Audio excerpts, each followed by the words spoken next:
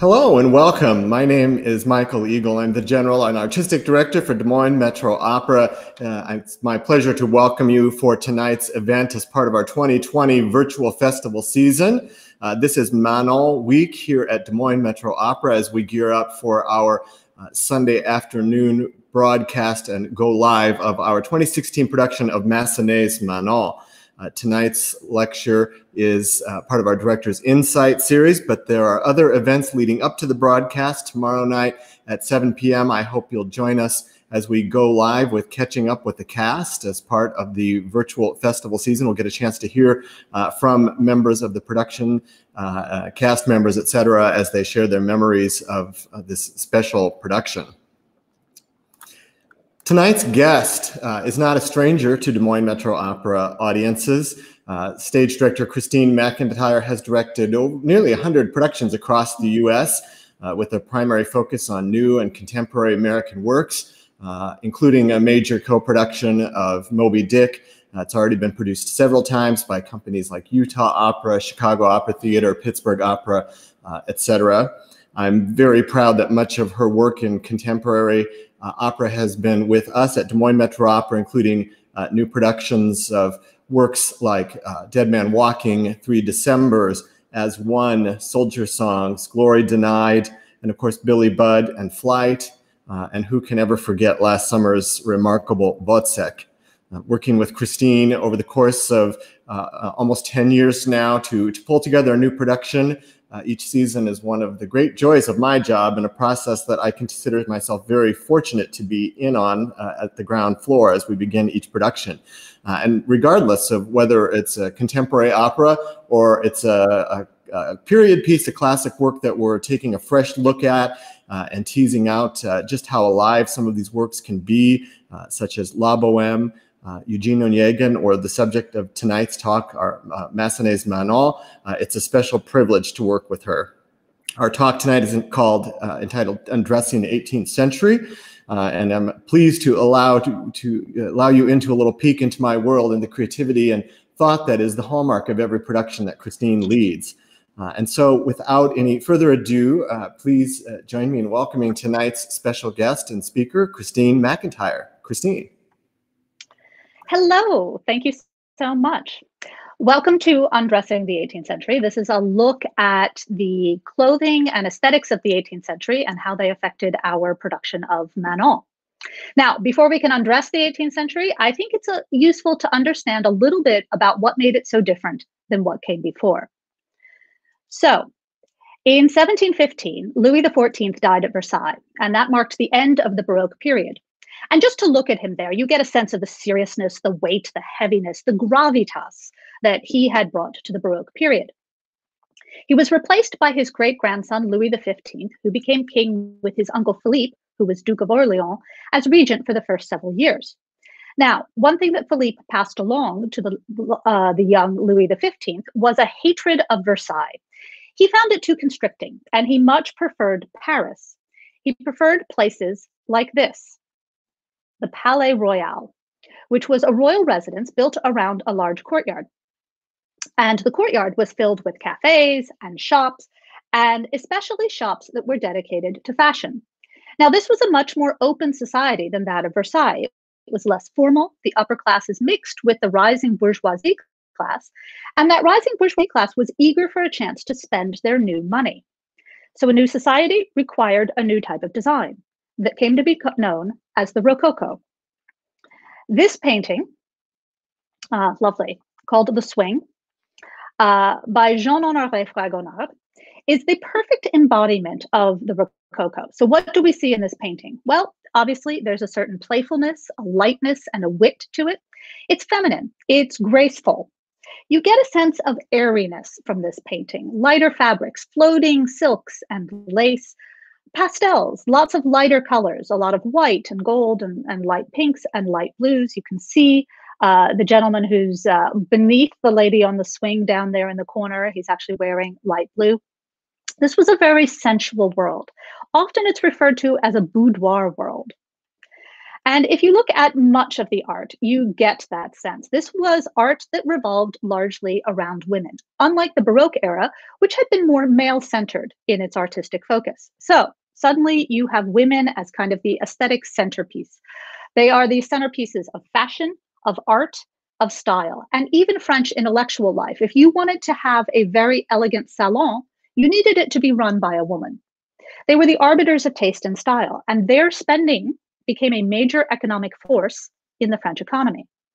And soon everything was geared toward their taste. So, here, the beautiful green room that you see furniture, fashion, everything designed to suit women. There was a synergy between the two, between furniture and fashion. Those things worked together to create beautiful, elegant spaces. To quote the catalog of the Met Museum's wonderful Dangerous Liaisons exhibit, furniture and fashion were intended to attract and ultimately to seduce. So Rococo interiors were total works of art. You can see how it's carried not even up all the way up the walls and into the ceiling here. They were gracious, light, lovely spaces. Furniture too became lighter in response and it began to take on an elegant, feminine appeal. You can see almost feminine curves in the curve of the legs. The arms of the chairs actually began to curve in a way that allowed for the panniers of women's dresses. The graceful feet began to evoke the shape of women's pointed shoes. And you can even see this in the porcelain of the day. So here are a few images of Sèvres porcelain. You'll find this in the Met Museum collection. This is actually, most of this is from Seattle. Um, beautiful, wonderful porcelain. And again, you can see these, these pastels and these feminine curves. All right, so if women were the arbiters of taste and style, then perhaps the most important woman, the most important arbiter, the, the influencer uh, of the Rococo period was this woman, Madame de Pompadour. She was known as Reinette to her friends, and she was the official mistress of Louis XV and much beloved by many people at court. And she was really kind of the emblem of grace and style of the Rococo period. She was a patron of the decorative arts and of French intellectuals and philosophes like Voltaire. Um, she oversaw new construction at several royal palaces. She redesigned the gardens at Versailles. She was actually instrumental in the foundation of the Sèvres porcelain factory. And she helped to make Paris the center of European taste and style. She was a favorite subject of many painters of the day, and this painting by Francois Boucher is no exception to that. And you can see in it many key elements of 18th century women's fashion. So, what do we see? Well, if you look closely, you can see that her dress is not one piece, and that in fact it's open, that you're actually seeing through to the underskirt, which is the same color and fabric as the sort of jacket piece that goes over her shoulders and arms and around the back of the dress. You can also see all of those pink ribbons in front. They're attached to a piece called the stomacher, which was a triangular piece that went over the corset. And the whole point was to see the lacing of the dress. And sometimes this might be laced with cord, but in this case, of course, it's ribbons that are tied into a bow. And it alludes to the corset underneath, because if you can tie a bow, you can also untie a bow. Now, men's clothing in this period had a rather slim silhouette, it was very elegant. The opposite was generally true of women's clothing, which used various different kinds of undergarments to create truly amazing shapes. And we're going to talk about the shape of women's dresses and how they got those shapes. But before we talk about that, we should talk about something that was a sort of uniquely French style of dress, or I should say undress, of this period the déshabillé, the graceful undress, and the ritual known as la toilette. So, this idea of la toilette, it's a morning ritual, originally taken from the lay, the time when the king would wake up and be attended by courtiers. But instead of kings, now you suddenly had a woman that was the centerpiece of this ritual. In her déshabillé, her gracious undress, and she would receive visitors while slowly getting dressed and preparing for the day. Now, no one should think this was an 8 a.m. call. This was usually around 11, 11.30, maybe noon. And she would be wearing an outfit that was purposely designed for this occasion which is a really modern idea. It's a little like loungewear or athleisure wear, pretty much what all of us have been doing in our Zoom meetings for this past several months, right? And so she would be wearing her chemise, which would be the sort of simple white gown underneath. She'd be wearing her stays, or what most people would think of as her corset. And then there would be a peignoir over the top, a sort of beautifully thrown over, as though to suggest something very casual, but it was a very, very uh, pointed effort. And it, while she was déshabillée, she would be doing her toilette. And there are lots of uh, different things that she would be doing while she was getting made up and ready for her day. So she could, for instance, receive a visit from her dressmaker. The woman uh, who is on the ground here is not actually a maid. She's not putting on shoes or anything. She is a marchand de mode, a French dressmaker or a seller of fashion items. And she has brought her sample books and sample ribbons and things to show to the lady of the house, uh, making a little sale before lunch. A woman could also receive male visitors like her husband, who probably had his own bedroom, or other men who lived in the house, and she would receive them in her gracious déshabille. She could also receive her lover uh, and conduct a little affair on the side, probably with her maid right there helping her get dressed. Or if she wanted to engage in a little social networking and intellectual life, she could have famous people play, both for the woman herself and you can think about the idea. She's getting herself together. She's got this beautiful dressing table in front with lots of little bottles of perfume and makeup. And you can imagine that she, as she casually reaches for a brush or a bottle of perfume, it reveals a wrist, a beautiful bit of the forearm, whatever. So it's a chance to show off her grace, her elegance, a little bit of herself. Also, a chance to show off her taste and her personal possessions, her sense of style. But it, it wasn't about vanity. More than anything, La Toilette was an important social occasion. It was a chance to network and to make important connections. It was said, and I quote, a charming woman uses more subtlety and politics in her dressing than there all are in all the governments of Europe. And even the furniture of the day was designed for this ritual. This is a wonderful fauteuil à coiffer, a dressing chair. And the reason the back of it has that big curve or divot is so that the woman's hair was easily accessible to her lady's maid who was doing her hairstyle, but also so that her neck and maybe even the top of her shoulders would be easily visible to whoever was watching her. And it would have been thought to be very gracious and beautiful. All right, now once a woman actually began to dress, there are a number of pieces that she would put on that would allow her to create the amazing silhouettes that we associate with this time period. And to show you that, we actually have a little video.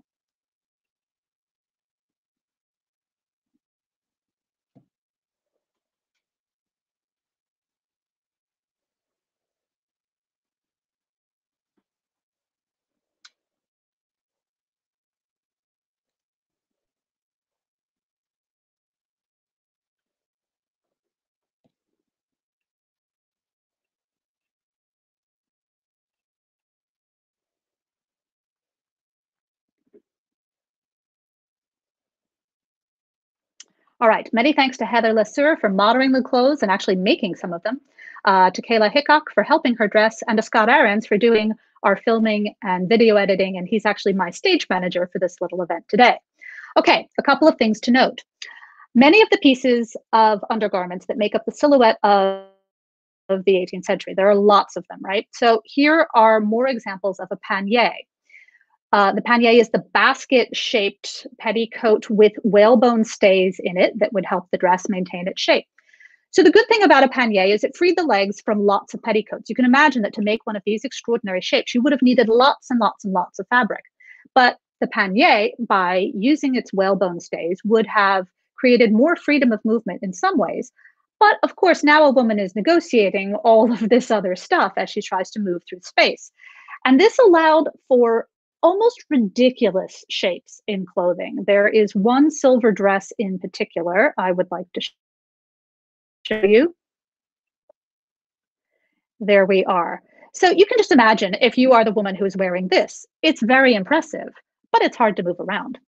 And in a magazine in 1770, in 1717, it was said, what skill and management is required to reduce one of these circles within the limits of a chair? And what precautions must a modest female take even to enter the doors of a private family without obstruction? I have seen many fine ladies who, when they sail in their hoops about an apartment, look like children in go karts. You can imagine how hard it was in those tiny, pretty little 18th century chairs to get anywhere near one in a dress like this. The second takeaway is that women could not get dressed on their own. It took staff and it took money. Once a woman had all of the foundation garments in place, it was time to actually put on the dress. And the prevailing style was called the robe à la française. Dresses were made up of different pieces, and they were not dresses as we would think of them, a one piece thing that you maybe put over your head and do up in the back. They were complicated to put together. And so the first piece would have been a stomacher. It's triangular and it would go over the corset or the stays. And then the, the bodice would lace over this, or if you remember in that picture of Madame de Pompadour, it could have ribbons that are tied into bows. The actual, what we would think of as the dress itself, then would go over this. And it has, in this style, the robe à la française, an open robe. So we will show you a picture of that. And the whole point of this is that you could see the petticoat in front. So in both of these examples, you can see that the petticoat or the underdress in this uh, image, it's made of the same material and it's the same color, right? But there's something really alluring about the idea that the dress isn't closed in front, that it's open somehow. Um, it was considered very elegant and it's part of the sensuality of the day this was a period where there were wonderful new fabrics and things out of which one could make a dress or with which one could decorate a dress. So you had printed cottons, you had silk, damask, lace, chiffon, lots and lots of surface decoration because dresses themselves, the fabrics were very expensive and very hard to clean. So it was easier in some ways to change the trimmings and try to make dresses look new or revive them little, you could change your trimmings with the season.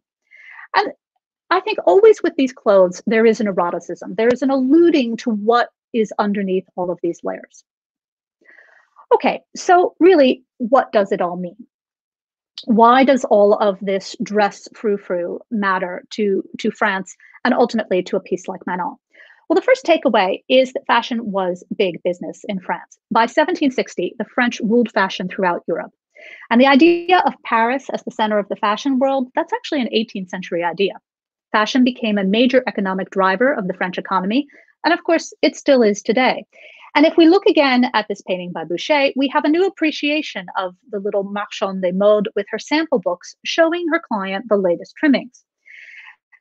So a sample book would have been books like these. These are actual 18th century sample books where you would have bits of fabric, lace, trimmings, cottons, all sorts of things from all over the world. France had huge trade in all of these things at this point.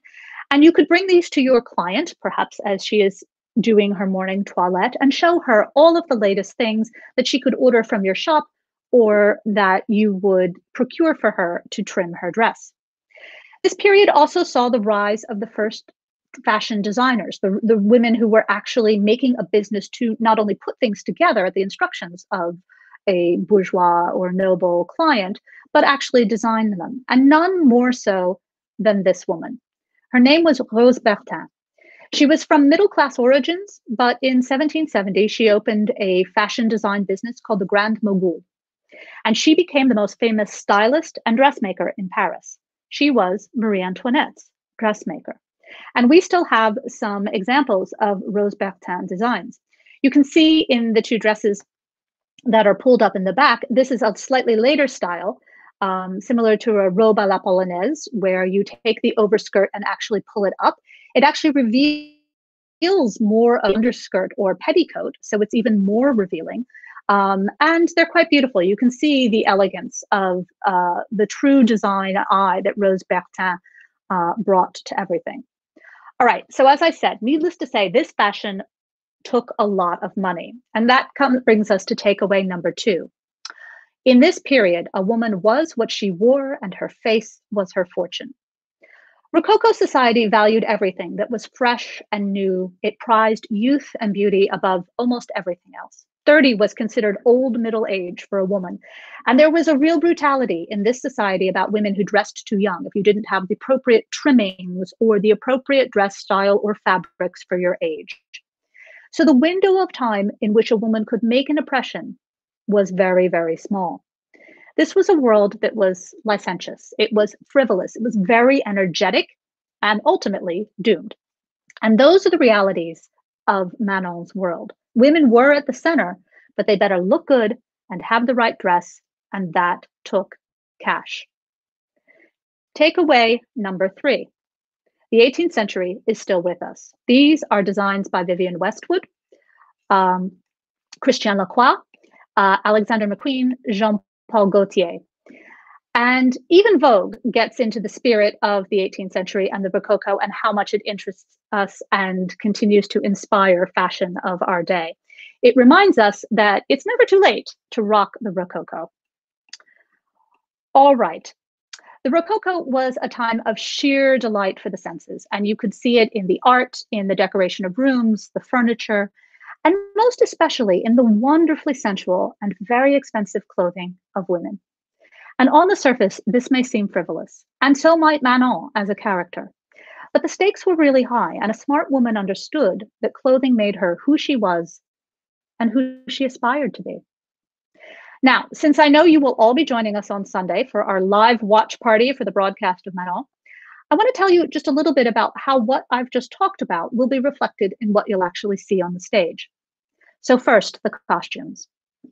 Well, in Act One, Manon actually comments on the boring dress that she's wearing compared with the dresses of the characters that I like to call the Ettes uh, Rosette, Poussette, and Javotte three beautiful young women that are highly dressed in very appropriate robe à la française. And Manon sees them and sings about how beautiful what they're wearing is. And she intrinsically understands somehow that their beauty is amplified by what they're wearing. In Act Two of the production, you'll actually see Manon in her déshabillé, in her gracious undress. She's wearing a wonderful gold peignoir and she's perfectly happy to receive visitors in it. Her cousin Lescaut comes and brings a friend that turns out to be Bretigny in disguise. Um, and she she thinks nothing of the idea of basically receiving men in her pajamas uh, because she looks so good, and Sydney does look really awesome in it. In Act Three, you will see her in the world's most elegant gold dress. It is the epitome of style. It has very clean cut lines, uh, which is actually a little unusual for Rococo design, but it sort of leans forward in design in a way that I personally find very appealing. And in Act Four, you will see her in a really over the top red dress that actually evokes that, that silver job we saw earlier. Um, and that really kind of tracks her rise up the scale and it's it's no wonder that from there there's only one direction to go and that's down. The second thing you're going to see reflected is the color palette. So i talked a little bit about how pastels were sort of iconic of the rococo period and you will see a lot of that in the production in the clothing both of men and women and also reflected in the set. Quite a lot of the set has this lovely light green color to it that i think is very evocative of art of the rococo period and thirdly, you will also see it reflected in the set design. Now, there are some tall towers that are part of the set. They're based on a Greek idea called periaktoi, or towers that turn. In this, panels in these towers turn, and that idea comes from French uh, folded screens, which were very, very popular during this period. You might have a very elegant screen in your uh, in your dressing room or even in your salon um, that would be painted with, for instance, with a countryside scene or something like that. But more than anything, what you're going to notice about the scenery is the curve of the steps. I remember Keith Brumley, our scenic designer, said that this was the, the curviest set he'd ever done, that there were fewer straight lines in the Manon set uh, of anything that, that we had done at DMMO. And it's true, we did that purposely. We tried to create a space that evoked the feminine of the Rococo. All right, so that is a little bit about how 18th century design factors into Manon, and specifically about how clothing tells us a little bit about what was important in this society, the aesthetics, uh, and how it caused women to make certain kinds of choices in this period. And I think now we will go to questions. All right, so I have a question that says, can you tell us about where the costumes from Sunday's broadcast came from? There were so many costumes and wigs in that production and so many quick costume changes. And this question actually comes from Brian August, who was our stage manager for Manon and for, I think, almost every show I've done at DMMO. Um, yes, so the costumes were actually borrowed from Opera Australia, and then we put some other things in the package. So we shipped them a long way, and they were worth it.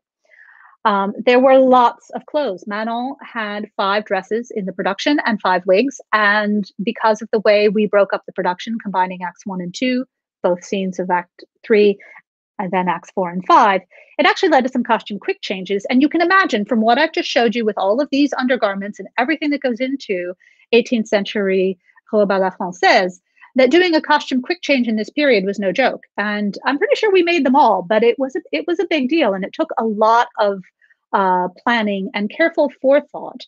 Uh, in a way, we're used to just being able to sort of rip everything off in the wings and, and get to the new thing, and that's not something you can do when you are dealing with 18th century clothes.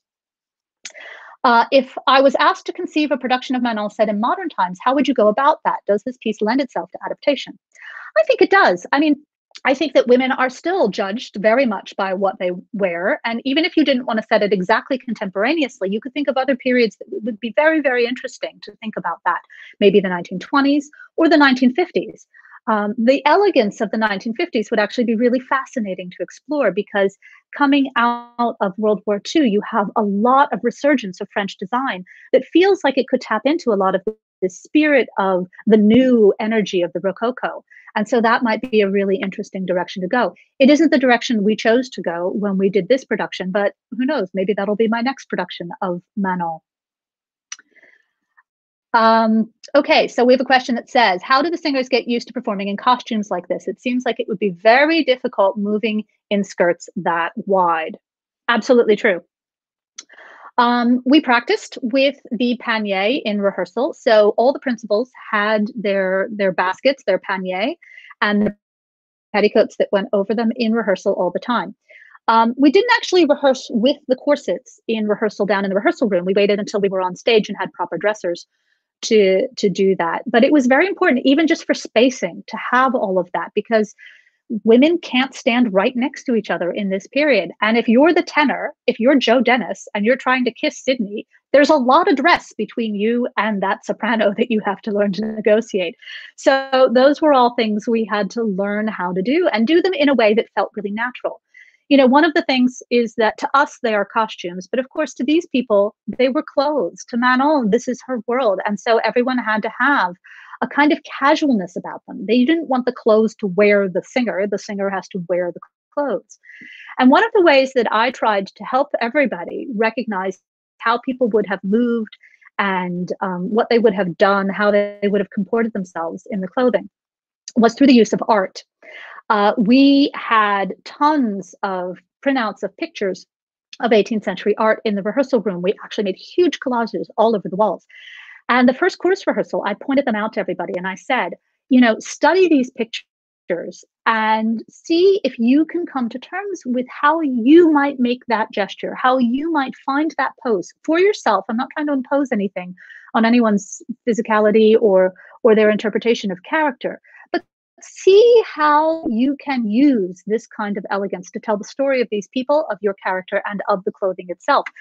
And it's funny because I always fill the rehearsal hall with lots of imagery. On the first break, of course, first chorus rehearsal, everybody, like the wall was crowded. It was a block of people just staring at the artwork. And I thought that was great, that it really gave them a window into the idea that they needed to internalize these clothes.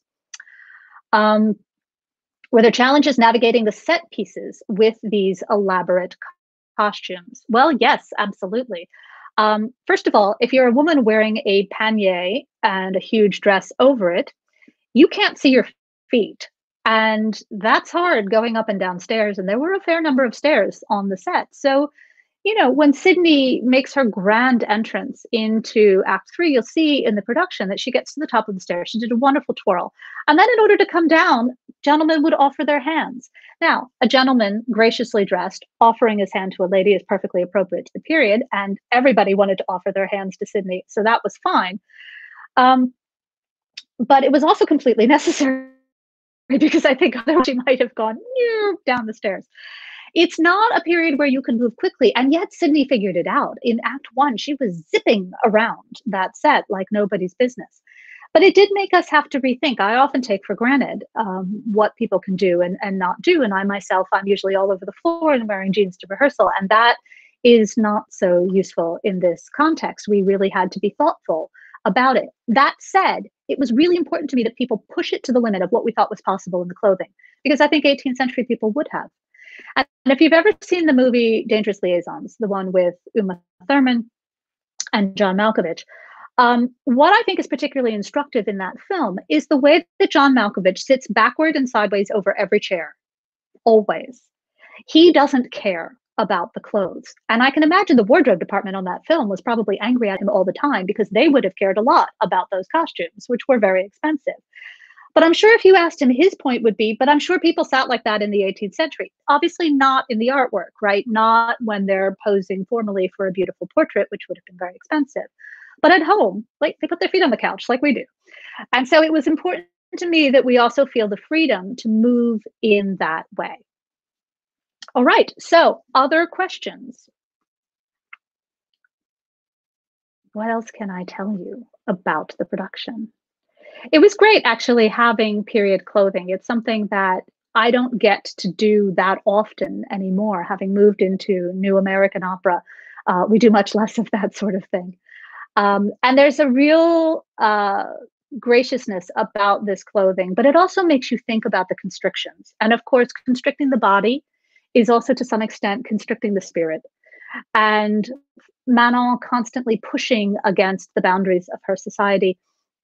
It's really interesting to think about in the context of her wearing a corset and all of that clothing. And of course, she's desperate for it because it's how she indicates that she's arrived in society.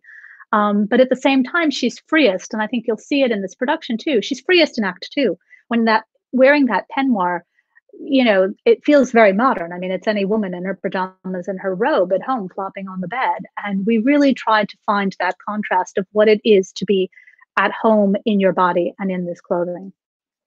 All right. Um, our patrons associate you most with contemporary pieces like Wozzeck, Dead Man Walking, Soldier Songs, and Flight, to name a few. Do you enjoy directing traditional grand operas like Manon? When I have a cast like this one, yes. um, you know, it's a double edged sword, and I have the women are portrayed in 19th century opera in particular. Um, I choose my my older pieces carefully. I choose pieces where I feel like I have something to say about the story, and specifically about the heroine. Um, you know, chances are, if it's a 19th century opera, the woman dies.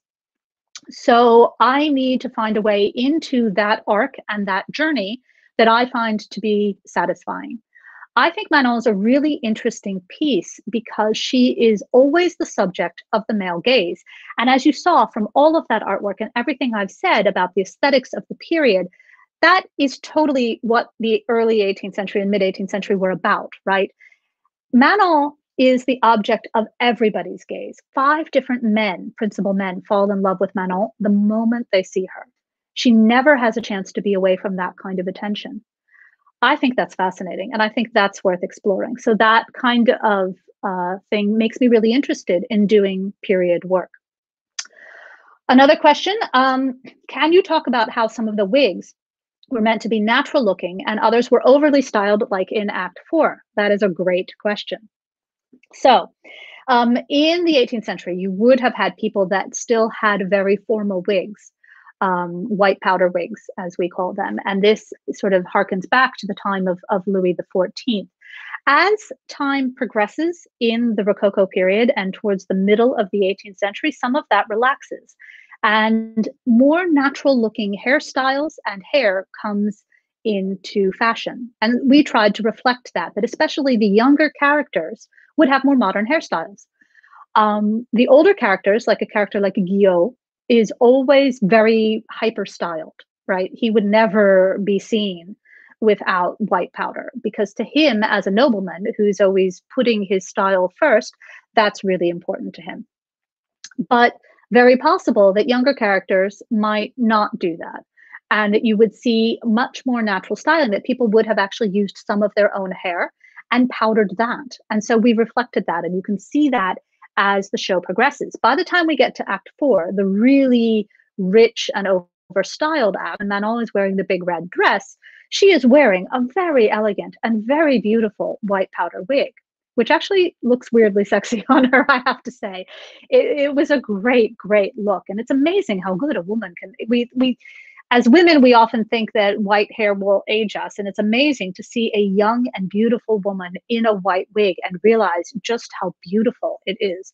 And in this case, how well it sort of set off the dress and her face.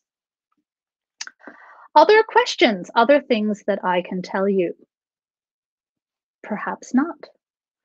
I do hope you will all join us on Sunday. This is a spectacular production and a great one to start off our virtual festival with. I'm really proud of the show. It was lovely to do the cast catch up. That's coming up for all of you tomorrow. So if you tune in tomorrow, you'll get to see all of the major players in the cast and hear about what they've been up to since last we saw them.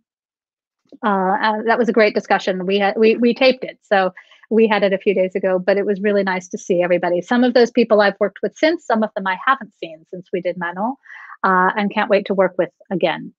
And then on Sunday is the the broadcast. And if you can't catch us at the watch party, or if you don't happen to live in an IPTV area, you will be able to stream it later, which is wonderful. So so many people uh, who didn't get to see the production originally will be able to see it this time.